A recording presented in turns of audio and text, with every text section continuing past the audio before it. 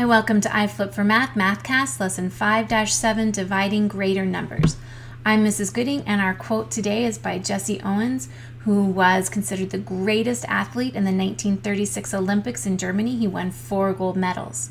He said, We all have dreams, but in order to make dreams come into reality, it takes an awful lot of determination, dedication, self discipline, and effort. I think it's the same with math. It takes a lot of determination, dedication, self discipline, and effort. And that's what makes us successful. So have some fun trying to use all of those skills to um, achieve some mastery tonight.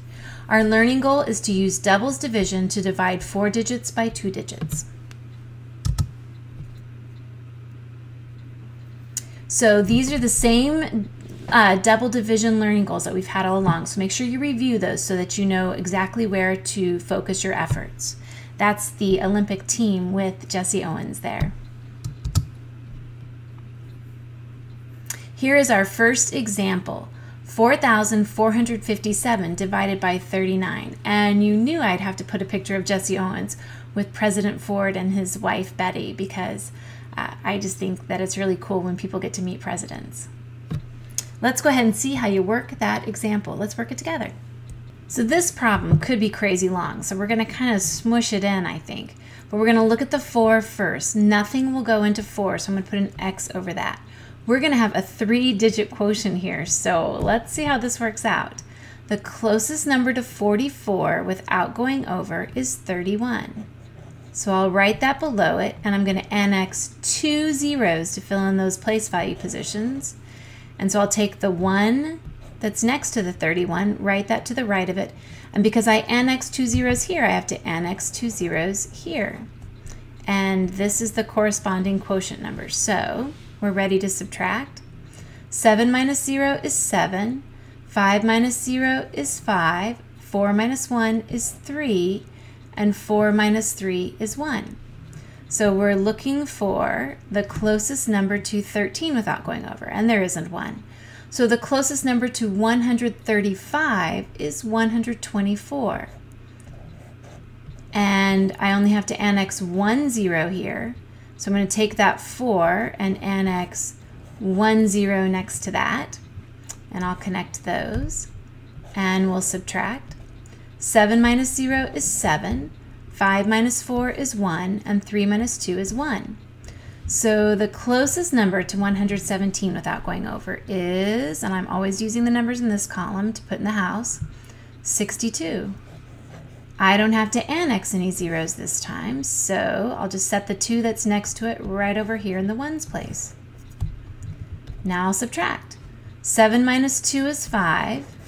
1 minus 6 you can't do, so 11 minus 6 is 5. Now we're looking for the closest number to 55 without going over, and that will be 31. And the number next to the 31 is a 1. Remember, these numbers over here go in the quotient column. We didn't annex a 0, so I don't annex any zeros. 5 minus 1 is 4, and 5 minus 3 is 2.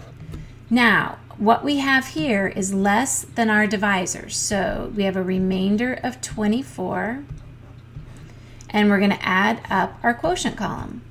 So 0 plus 0 plus 2 plus 1 is 3, and 0 plus 4 is 4, and 1 plus nothing is 1. So our quotient is 143, and to check that, I would need to multiply 31 times 143 and then add 24 to that total, which should give me 4,457, which is my dividend.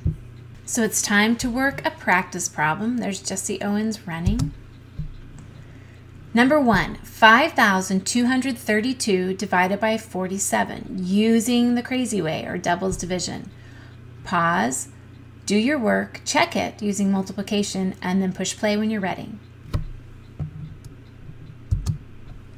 Did you write 111 remainder 15? Let's see how we did that. So we'll start out by saying uh, what number is closest to 5 without going over, and there isn't one, so we'll put an X over that. And so now we'll look at 52. Closest number to 52 without going over is 47 because we're looking at the numbers in this column to put in the house.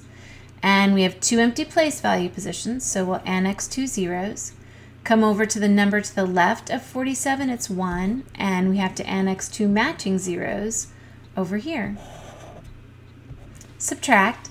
2 minus 0 is 2. 3 minus 0 is 3. 2 minus 7 can't do it. 12 minus 7 is 5. So we're looking now for the closest thing to 5 without going over, and there isn't anything. So we'll look at 53, and the closest number to 53 is again 47.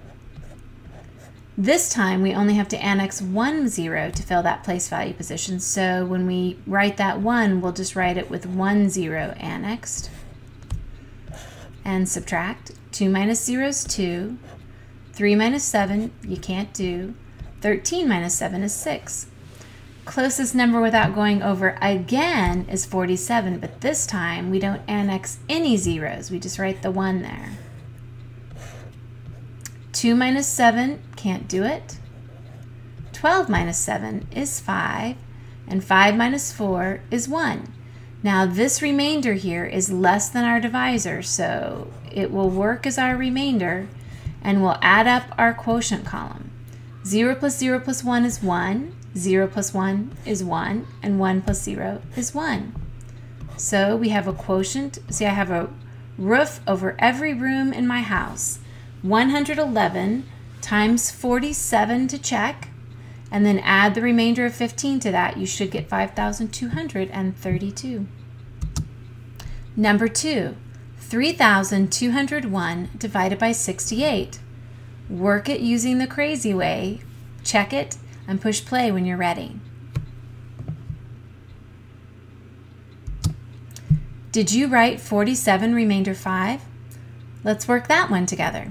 So remember, as we're doubling, 68 plus 68 is 136, plus 136 is 272, and 272 plus 272 is 544.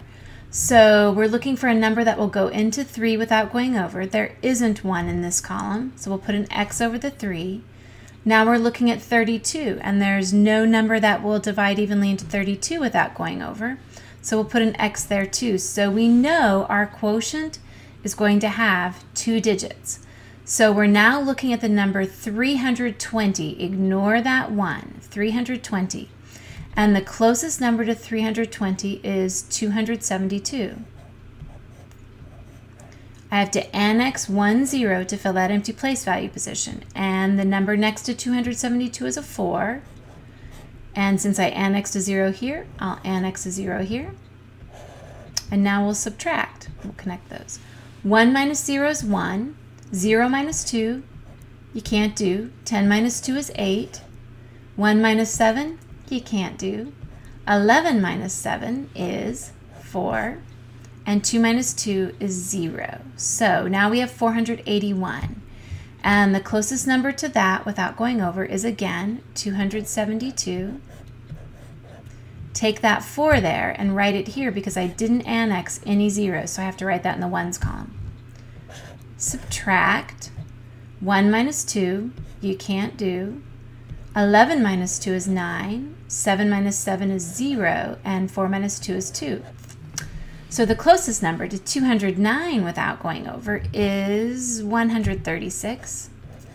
I didn't annex any zeros for that one, so I'll take the 2 that's next to it and write it in the ones column. 9 minus 6 is 3, and 0 minus 3 you can't do. 10 minus 3 is 7. Closest number to 73 without going over is 68. And there's a 1 next to that, so I'll put a 1 in the ones column. 3 minus 8, you can't do. 13 minus 8 is 5. 6 minus 6 is 0. So our remainder is less than our divisor, so we'll write remainder 5 here and add up the numbers in our quotient column. 4, 5, 6, 7 using touch point, and 4 plus 0 is 4. So 47, remainder 5. To check it, 47 times 68, then add 5 to your answer, and you should get 3,201. Here is our practice word problem.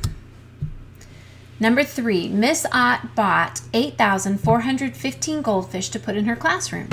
If she wants to put no more than 43 goldfish in each goldfish bowl, how many goldfish bowls will she need to buy? Go ahead and figure that out. Think about kind of the strategies we've been using in our word problems for the last couple of lessons. Check it and then push play when you're ready. Did you write 196 goldfish bowls? I don't think there's going to be room for kids in her classroom. There's so many goldfish and goldfish bowls. Let's see how we did that problem. So let's check. 43 goes into 8. It won't. Can't go into a room that's smaller than you, so we're going to x put an x over that. So we're looking for the closest number to 84 without going over, and that is 43. 86 is bigger than 84, so we can't use that one. Take the number to the left, and that's going to be our 1 right here. So I still have two empty place value positions. So I'm going to annex zeros there. And since I annex two zeros there, I'm going to annex two zeros here. So let's subtract that. 5 minus 0 is 5. 1 minus 0 is 1. 4 minus 3 is 1. And 8 minus 4 is 4. So as I'm looking here at the 4, nothing will go into the 4. And I'm going to look at the 41. Nothing goes into 41. But the closest number to 411 without going over is 344. So I'll write that beneath that. And now I can see that I have an empty place value position. So I'll put a 0 there. And I'll take that 8 and put a 0 next to that since I annexed a 0 here. And we'll subtract. 5 minus 0 is 5. 1 minus 4 you can't do it. 11 minus 4 is 7. And 0 minus 4, you can't do that, so we're going to regroup. 10 minus 4 is 6, and 3 minus 3 is 0. So we have um, 675. So we want, let's see, the closest number to 67 look at it this way. I could say the closest number to 675 is 344, but I can get a number that's even closer to 675 by just looking at the 67. So as I look at the 67, the closest number is 43. So if I write 43 there and annex a 0, do you see how that's closer to 675? So I'll take the 1 that's next to the 43 and annex a matching 0. 5 minus 0 is 5. 7 minus 3 is 4. And 6 minus 4 is 2. So I'm looking for the closest number without going over, and it is 172. And the 4 is next to that. I didn't annex any zeros, so I won't annex a 0 over here. 5 minus 2 is 3. 4 minus 7, you can't do. And 14 minus 7 is 7 closest number to 73 without going over is 43. And there's a 1 next to that 43, so I'll put a 1 in the 1s column. 3 minus 3 is 0, and 7 minus 4 is 3. Now, my leftover down here, my remainder, is less than my divisor, so that is my remainder, and then I'm going to add up my quotient column to find my quotient. I'm going to have a three-digit quotient because I have three rooms that don't have roofs over them. So 0 plus 0 plus 0 plus 4 plus 1 is 5. 0 plus 8 plus 1 is 9. And 1 plus 0 is 1. So 195, whoops, that's a terrible 5. Remainder 30 is my answer. To check it, I multiply 43 times 195 and add my remainder of 30. It's time to challenge yourself in the same way that Jesse Owens challenged himself. Jesse Owens ran for 7,106 seconds. If he ran 323 laps, how many seconds did it take him to run each lap? Go ahead and show your work in your flip journal and come to class and check your work tomorrow. Have some fun with this one. Finishing up, review your learning goals, uh, write down any questions you might still have, write down if you're at a level one, two, or three in your learning. And uh, you finish lesson 5 7, dividing greater numbers. I will see you tomorrow where we can practice some more.